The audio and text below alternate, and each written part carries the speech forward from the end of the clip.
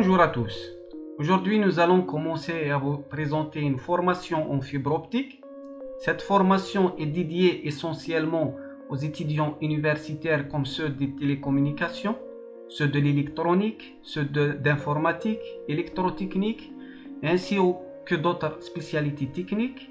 Aussi pour les différents techniciens qui voudront apprendre l'utilité et le principe de ce créneau de la technologie de pointe. L'objectif de cette formation est de comprendre à quoi sert la fibre optique et savoir comment l'utiliser, connaître les produits à mettre en œuvre, savoir préparer le cas, apprendre les méthodes d'épucérage par fusion, raccordement des boîtes de jonction et patch panel, apprendre à faire les mesures de photométrie et de réflectométrie, savoir générer un rapport de test, et en final l'utilisation d'une application pour le calcul du bilan optique. Donc cette première vidéo est consacrée pour la présentation des différents équipements qu'on va exploiter durant cette formation ainsi que les différents outils nécessaires accompagnant ces équipements pour la réalisation des différentes installations à fibre optique.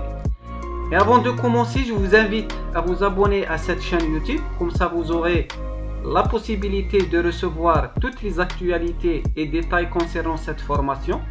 Aussi, je vous invite à suivre mon site web que j'ai nommé Formation Fibre Optique et que j'ai lié avec cette chaîne YouTube en facilitant la compréhension et l'utilisation de la fibre optique de A à Z. En tout cas, je vous laisse en bas de la vidéo le lien de, mon site de formation. Et pour commencer, voici donc l'acteur principal de cette formation, la fibre optique. Cette fameuse fibre optique dont tout le monde parle et dont tout le monde rêve, qui est la seule solution pour répondre au développement des besoins de communiquer la voix, communiquer les images, communiquer les données. Elle est fabriquée généralement à base du silicium. Elle est capable de convoyer jusqu'à 40 milliards d'impulsions par seconde. Aussi 40 000 conversations simultanées peuvent être acheminées par une seule fibre optique, c'est-à-dire un seul brin comme celui-là. En passant à une chute de câble fibre optique qui contient deux tubes, ce qu'on appelle aussi torrent. Chaque torrent contient à l'intérieur plusieurs brins, comme cet exemple. Chaque tube contient 12 brins de couleurs différentes. En tout cas, on verra la composition d'un câble à fibre optique en détail dans cette formation. Voici le premier équipement qui est un DR, un réflectomètre laser destiné aux réalisations des tests de liaison optique de marque Viavi MTS 4000 qui est une excellente marque. Alors, durant cette formation, nous verrons en détail le principe de fonctionnement de cet équipement, sa plateforme, son interface et la méthode de configuration des différents paramètres pour réaliser des tests optiques.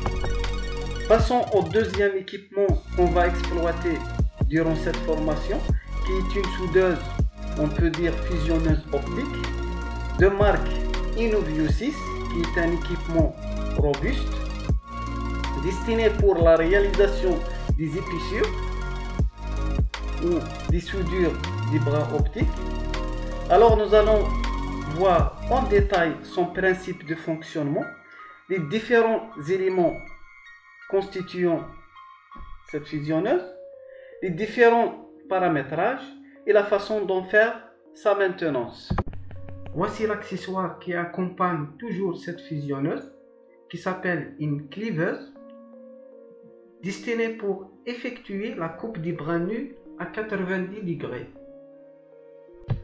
Nous allons voir aussi cet équipement toujours de marque Viave qui est un couple émetteur-récepteur qui s'appelle Power Meters destiné pour relever la puissance de sortie sur une liaison optique ainsi pour autres fonctionnalités.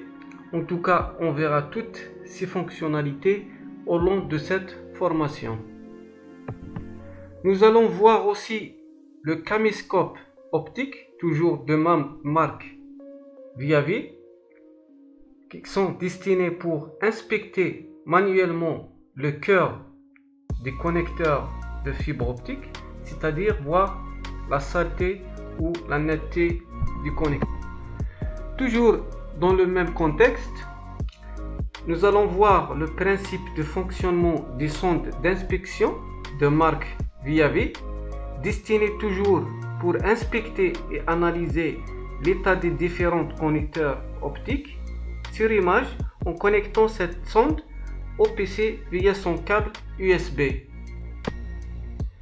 Nous avons aussi un stylo laser de marque toujours Viavi destiné pour émettre un signal laser pour des distances limitées et qui nous facilite la distinction des brins et pictels pour éviter les inversions lors de la réalisation du raccordement des patch panel. Passons aux différents jarretières optiques avec leurs différents connecteurs. On peut trouver des jarretières qui possèdent des connecteurs ST, FC, SC, LC. Aussi, on peut trouver des jarretières duplex pour TX et RX. Et comme on peut trouver des jarretières simplex. Nous allons voir aussi un pictel. C'est quoi un pictel? Qui se ressemble à une jarretière. Nous allons voir aussi les différents coupleurs avec leur type duplex et simplex. Nous présentons ici les différents outils qui servent au dénudage du câble à fibre optique comme des pinces à dénuder. Nous avons un ciseau, un cutter, un câble fixe qui sert au traçage du câble fibre optique.